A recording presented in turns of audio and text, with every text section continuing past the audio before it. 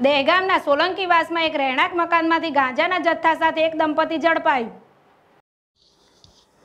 ગાંધીનગર જિલ્લાના દેગામ ખાતે આવેલ સોલંકીવાસમાં રહેતા કલ્પેશભાઈ વાસુદેવભાઈ બારોટના રહેણાંક મકાનમાં એસઓજી ટીમની પીઆઈ ડીબી વારા અને તેમની ટીમ મહેન્દ્રસિંહ વાઘેલા એસી અને રાજેન્દ્રસિંહ એસી દવિન્દ્રસિંહ એએસઆઈ અને પીએસઆઈ આરબી પરમારને બાતમી મળી હતી કે દેગામ ખાતે આવેલ સોલંકીવાસમાં ગાંજો વેચાઈ વેચાય છે એવી પાક્કી બાતમી હોવાથી ટીમે ઓચિંતો દરોડો પાડતા તેમના રહેણાંક મકાનમાંથી ચુમ્વાલીસ ચોર્યાસી ગ્રામ ગાંજો અને વજન કાંટો અને પ્લાસ્ટિકનો ડબ્બો, બે મોબાઈલ સહિત કુલ રૂપિયા તેર હજાર પચાસનો મુદ્દામાલ પોલીસે પકડીને કલ્પેશભાઈ વાસુદેવભાઈ બારોટ અને તેમના પત્ની જાગૃતિબેન કલ્પેશભાઈ બારોટની ધરપકડ કરીને દેગામ પોલીસ સ્ટેશનમાં આવીને તેમની સામે કાયદેસરની કાર્યવાહી કરી છે.